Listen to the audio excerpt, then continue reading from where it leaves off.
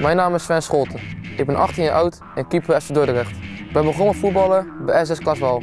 Vervolgens heb ik stappen gemaakt via Feyenoord, Sparta en Willem II.